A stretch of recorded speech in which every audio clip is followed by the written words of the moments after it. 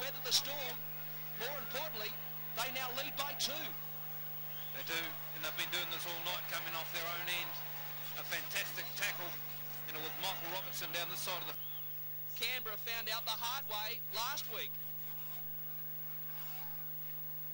They come back the open side. Kamali, flat ball, that's okay, but on his backside went Bosnich. You have a go. That's. Someone, someone steps up when Stacey's been heavily involved. Bean goes to Price, and now Monty Betham with the step and the try right under the black dot. Monty Betham.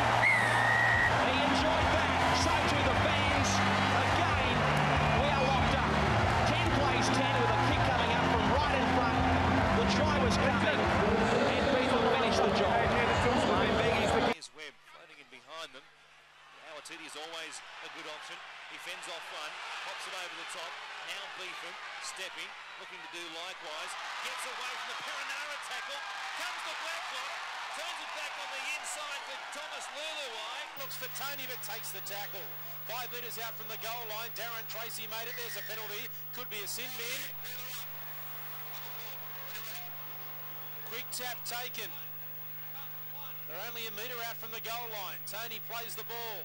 See you, see you with the decoy. Monty Betham, who's replaced PJ Marsh at acting half, scores a very soft try. The Warriors are in front 4 0.